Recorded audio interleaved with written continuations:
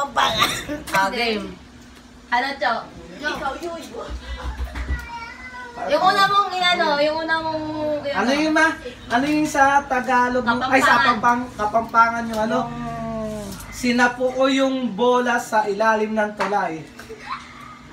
Se, selu kayong bola, king, king lalam ning tete.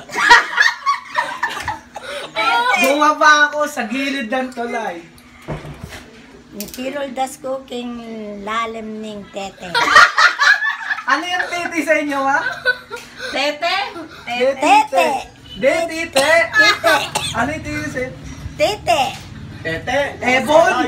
Ay, yung ebon. Egg yun eh. Bola, bola yung sinabi mo eh. Egg yun, King ebon. egg, yung itlog. Ano pa pala yung nakakatawa sa inyo? ang kapampangan sa itlog, ebon. Kaya nga, ebon. Ebon. Di ba doon kayo order? Oh, ebon. Sa ebon. May, may pulis, may pulis sa ilalim ng tulay.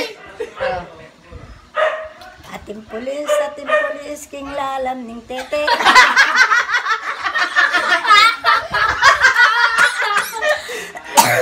La- lalam lalam din tete.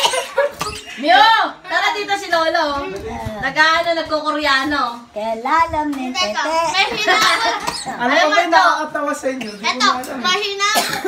Eh, Dalawang bata hinabol ng pulis sa ilalim ng tulay.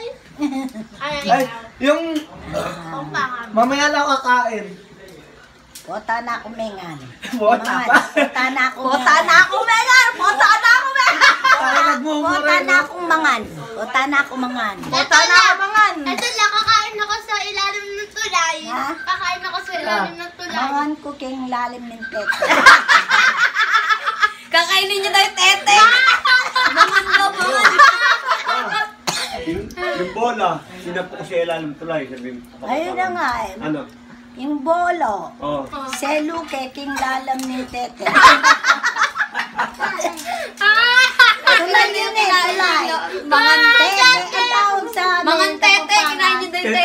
Yung tulay, tete. Tete. Oo, tete. Tulay. Ano? Saan nakakuha niyo? Nakakamir daw siya. Aray.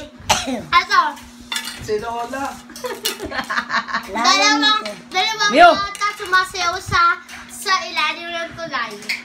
Adwang bata. ah, adwang bata. Ano, ano, ano? Dalawang bata sumasayaw sa ilalim ng tulay. Dalang adwang bata. Oh, Tetera Gusto mo naman klaking yung Patrick tete. doon. Tete, raking tete! Tetera mo klaking tete. Yun. Oh, ikaw, Mio, may tanong ka kay Lola, Mio. Ako nga.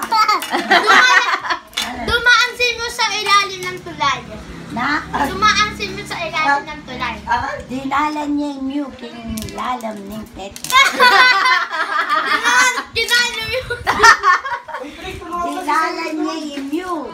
Ano sabihin, di na lang Dinalan, naman dinalan niya yung mu kay lalam ng tete. Di na lang ulit. Ano si Isa yun? Sabi ni Lola, yung. Dinalan niya yung mu Basta, kay lalam ng tete. Taga-sabon, ikaw taga-ugas. Di na lang, di na lang natete.